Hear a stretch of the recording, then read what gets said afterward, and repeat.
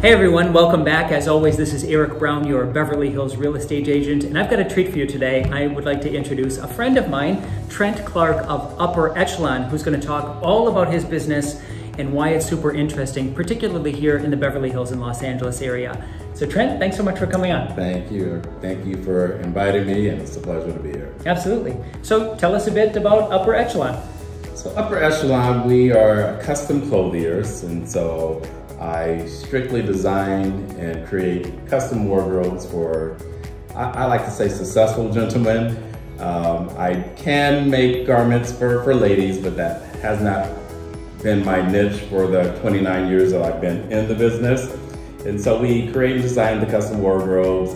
I bring everything to my clients' offices or to the homes. Um, we'll have you know swatch books that they can look through, and we you know we pick it, we design it, and I send them to my manufacturers. They make it for me. I have different levels of manufacturing. And once the garment is made, they ship it back to me, and then I go and I do a fitting at my client's offices. Can you talk about what a discerning gentleman gets to experience as they're going through the fitting process? So there's a lot. Uh, I mean, just I think a lot of gentlemen are really amazed with the amount of measurements that are taken. And so just that alone kind of blows their mind. And they might even think, you know, the initial meeting is going to be like, for example, I had a, a client just last month. And so he he put aside and allotted about 30 minutes for us to meet. And this was our first time meeting, and he was actually getting a complete outfit for him and his son. And so there's no way you can do that in 30 minutes with all the measurements that I take. It's very detailed.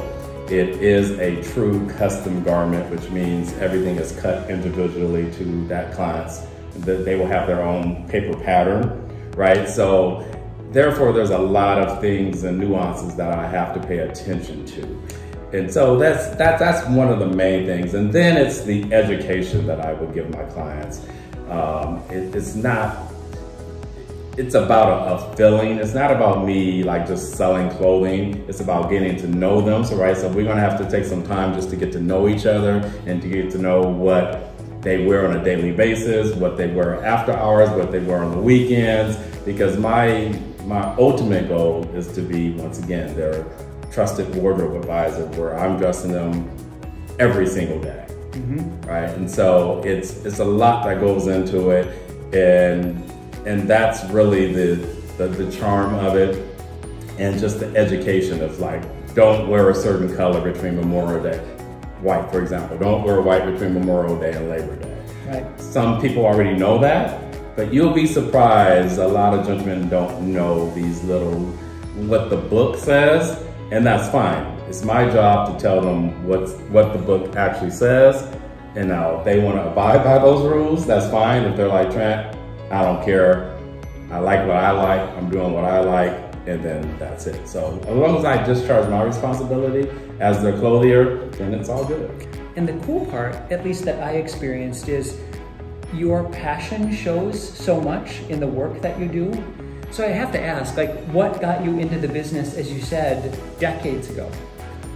So that, I, have always just, even as a little kid, I've always been into my image and my look. So some might say that, you know, who is this kid that's wearing a suit for no reason?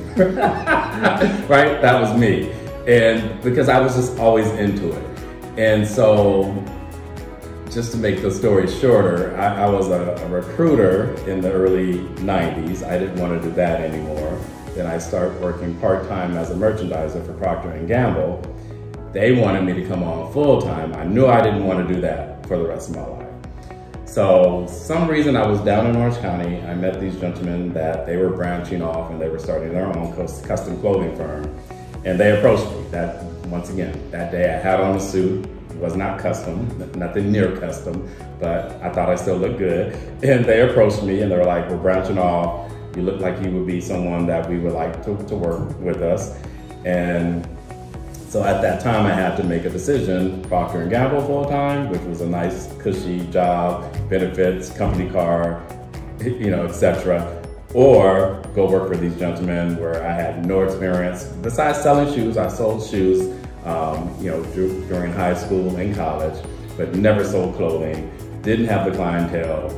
And so, but one thing that I always remember that people would always say, like growing up, is like follow your passion. You mentioned passion, follow your passion, and don't worry about the money.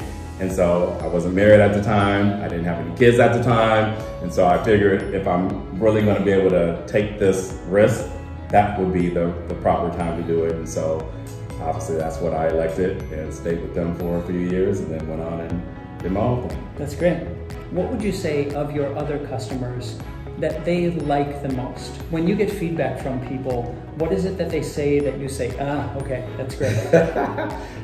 you know, it's one of those things that people, they say you should never say like you have the best service because everyone should have the best service, but Service is one of the things, since I do come to their offices or to their homes, I've been, like even this morning, I was at a client's home at 7.30 in the morning uh, because that's the only time that he could meet today and we have to do it today.